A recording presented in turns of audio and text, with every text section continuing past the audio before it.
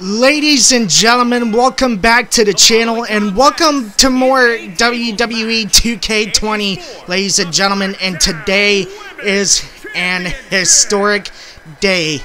Um, so, for many reasons, by the way. So, uh, let me explain how this all came about.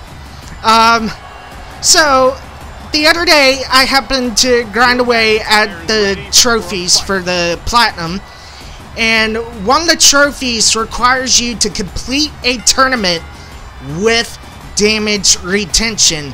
Well, I decided to do a tournament for a vacant championship. Alright? I managed to win the tournament, the whole daggone thing. All the way, straight through for a vacant championship, which happened to be the SmackDown Women's Championship. Now, here's where it gets funny.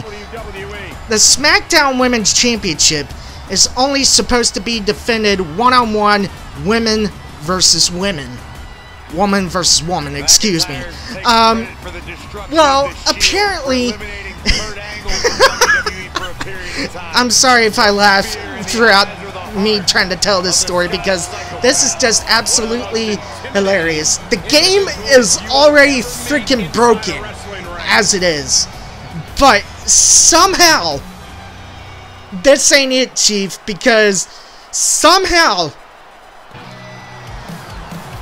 I managed to defend the SmackDown Women's Championship against the male superstar, or at least 2K decided to have a male superstar challenge me for the SmackDown Women's Championship. So I don't know if this is a glitch or if I managed to break the game even further as if the game is not already broken. But today, we, I can't believe I'm going to say this, but we are bringing you the first ever intergender tables match for the SmackDown Women's Championship as Kristen Murphy will defend the SmackDown Women's Championship.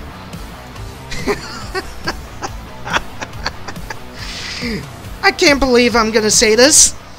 Against the Scottish psychopath, Drew McIntyre. Now,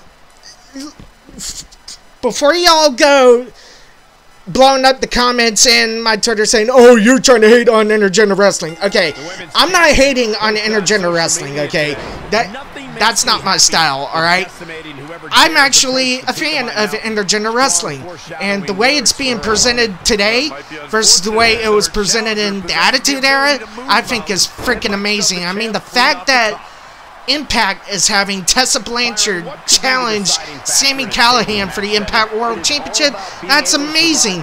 But the fact that this is even happening in a WWE game, how is this even possible?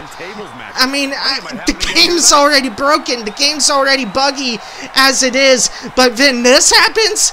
Come on, 2K. You don't see intergender matches take place in WWE th these days, and yet somehow this managed to make it in the game? How? Uh, oh my god. So, and you all, as you're seeing right now during this matchup, uh, Drew McIntyre is basically defenseless. He, there's nothing he can really do. He can't throw a punch. He can't go for a grapple. He can't go for nothing. So basically, you can go Super Cena all over his ass. All right, this is how funny this is. Well, well that time he finally caught Kristen with a clothesline right there, but. I mean, this is just so.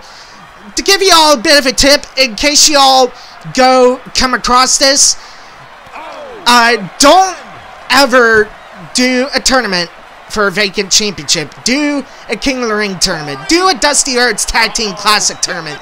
Do any other tournament but a tournament for a vacant championship. Otherwise, you will have an intergender match. All right, that that's just how it is right now. This is how broken the game is.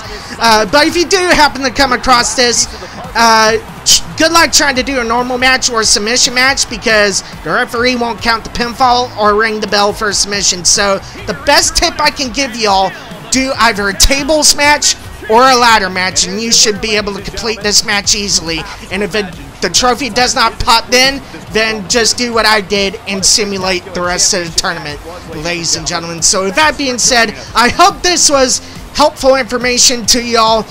Uh, hope you all enjoyed this video. For all of us at Patrick McSparrin Productions, this is Patrick McSparrin saying so long.